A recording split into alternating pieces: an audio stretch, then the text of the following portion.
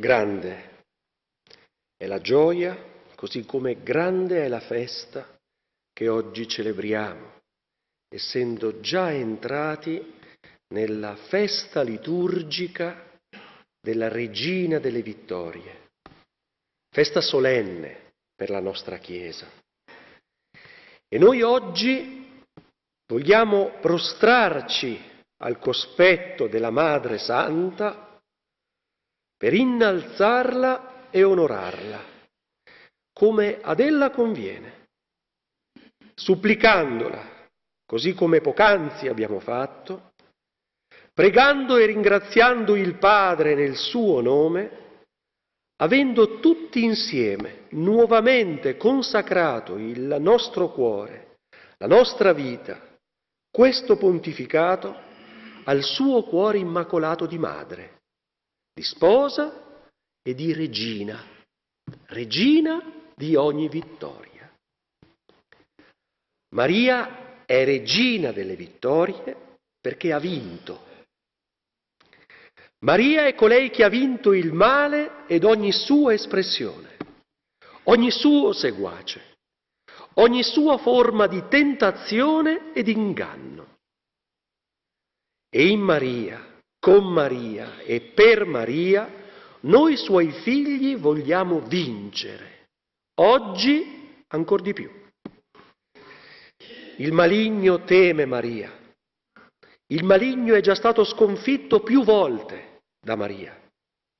E qui, in questa terra d'amore, il male e il maligno sarà sconfitto definitivamente, sprofondato per l'eternità.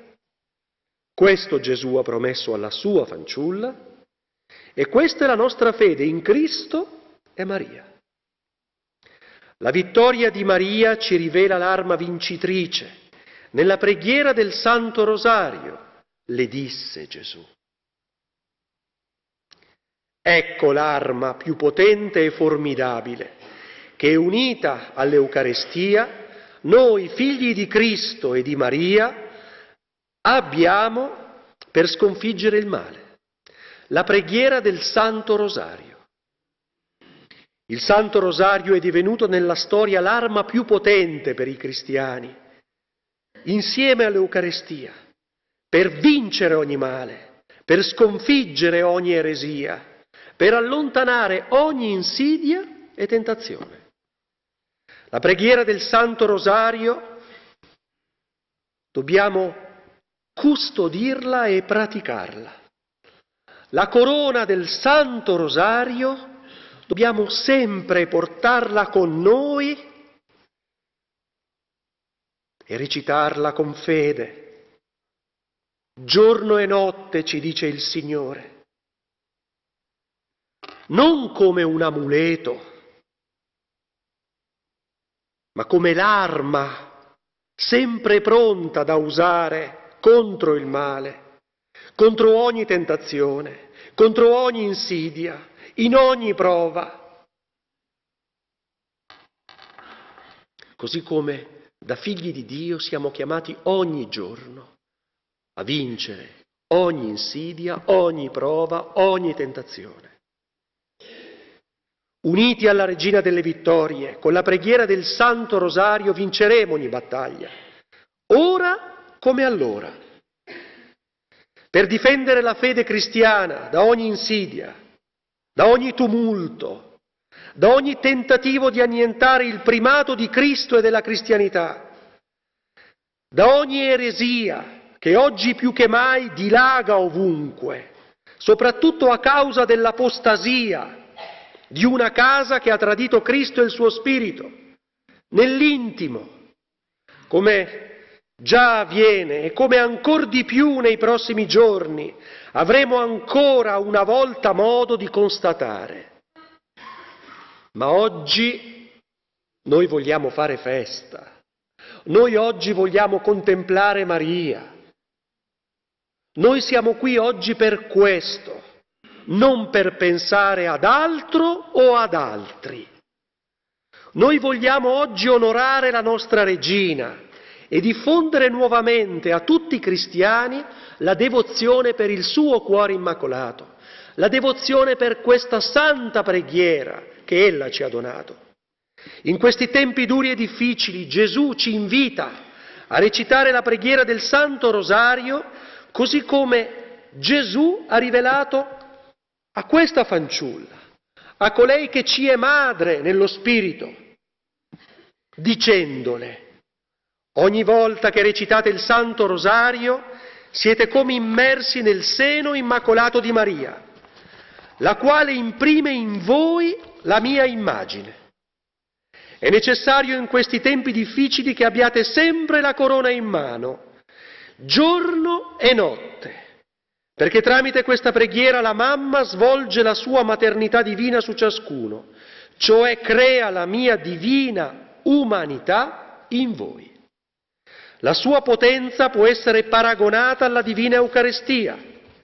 Esso è un'arma terribile contro le potenze delle tenebre. Unitevi nel Santo Rosario, sarete come in paradiso, lontano dagli affanni, dai dubbi e dai tormenti del nemico. Unite il rosario all'Eucarestia. Ambedue sono la potente leva nel seno di Dio che vi fa dominare i nemici interni ed esterni. Ecco che nell'Eucarestia e con la recita del Santo Rosario nulla avremo a temere. Nell'Eucaristia viviamo la comunione con Gesù, pane vivo disceso dal cielo, unendoci con il cuore, con l'anima e con lo spirito al suo cuore, alla sua anima e al suo spirito, per prendere parte ed essere parte di Cristo, per divenire come Cristo è. Con la preghiera del Santo Rosario ci uniamo a Maria, per vincere sul male e sul maligno, come ella lo ha vinto e sempre lo vincerà. Ecco perché in ogni famiglia cristiana, sull'esempio della sacra famiglia, ci si deve unire sempre più e si deve tornare a recitare questa preghiera, il Santo Rosario, ogni giorno, così come stiamo facendo in questa madre Chiesa in questo mese di ottobre mese dedicato alla regina delle vittorie e mese dedicato alla recita del Santo Rosario. Chi si unisce a Maria vince, ha già vinto e sempre vincerà. Maria è vincente e chi vuole vincere si deve unire a Maria, al suo cuore immacolato, ora più che mai. Ecco l'invito ad essere umili, puri ed obbedienti sull'esempio di Maria, la tutta bella, la tutta pura, colei che è stata ed è per tutti i cristiani vero esempio di umiltà e di obbedienza al Signore. Chi vuole vincere oggi guardi alla Regina delle Vittorie e al suo cuore immacolato, si affidi nella totalità a colei che è madre. Questo è l'invito che oggi come pontefice rivolgo a tutti i figli e a tutte le figlie di Dio e a tutti gli uomini e alle donne di buona volontà che sono nella prova, che sono afflitti. Si può essere afflitti, ma mai sconfitti. Si può essere sofferenti, ma mai scoraggiati. Questa è la nostra fierezza, questa è la nostra dignità, che come figli di questa madre vogliamo oggi testimoniare al mondo intero, affinché i cristiani rialzino la testa e con l'aiuto della preghiera e rimettendo al centro la fratellanza possano vincere. A tutti voi oggi dico, contemplate il suo cuore, ricercate il suo cuore, chiamate il suo nome e nulla mancherà. Così come ella è stata obbediente fino alla fine, siate esempio tutti voi di obbedienza viva a Maria al Figlio di Dio, per essere obbedienti fino in fondo alla volontà del Padre.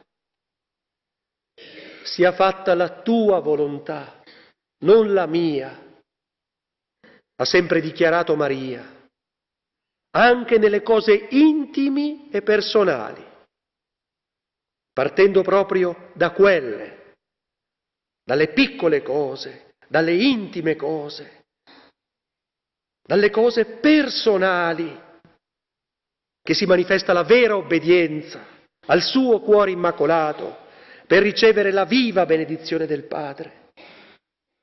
Ecco colei che nulla ha tenuto per sé, ma tutto si è donata al suo Signore. Ecco il nostro esempio, vivo esempio, che ora vive e sempre più deve vivere in coloro, noi suoi figli, che vogliono imitarne le virtù nella totalità.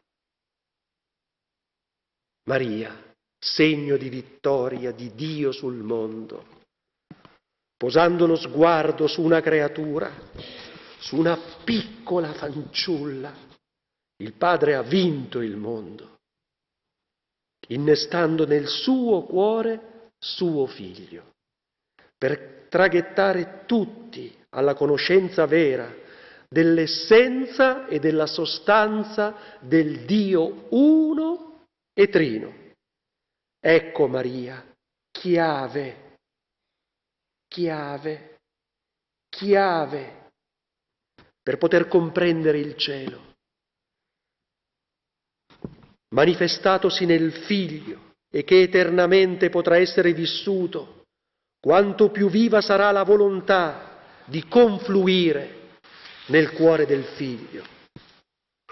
Ecco Maria, colei che fa tremare il nemico di Dio. Pronunciando il suo nome, ogni catena cade, ogni male lingua viene tagliata. Al suo cuore ogni figlio trova pace e serenità. Il nemico di Dio fugge davanti a Maria regina delle vittorie, madre della speranza, che per ogni figlio, per noi suoi figli, diviene certezza, quella certezza viva dell'unione totale del suo cuore con il cuore del figlio di Dio. Ecco la congiunzione. Maria, Madre Chiesa, Vergine del Santo Rosario, Immacolata dello Spirito Santo, colei che rivestita della grazia del Padre, nella sua potenza e gloria di madre, accompagna e fa salire ogni cuore a contemplare il cielo, quel cielo che in questa terra è vivo, è tangibile, è persona.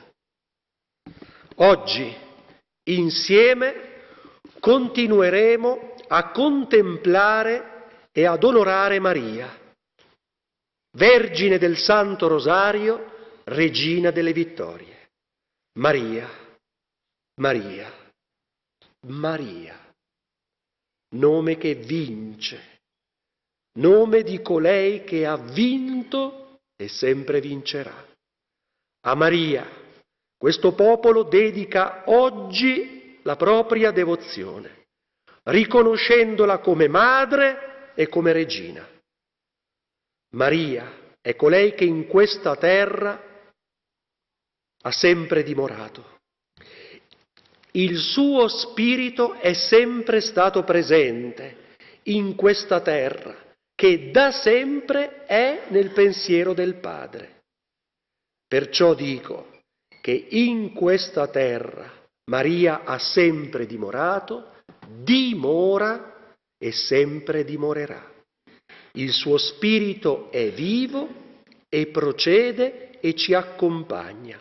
Accompagna noi suoi figli per poter vincere ogni battaglia, per poter vincere la battaglia finale tra il bene e il male, che è iniziata, è in atto e si concluderà con un solo risultato, la vittoria. In Maria, con Maria e per Maria. E così sia.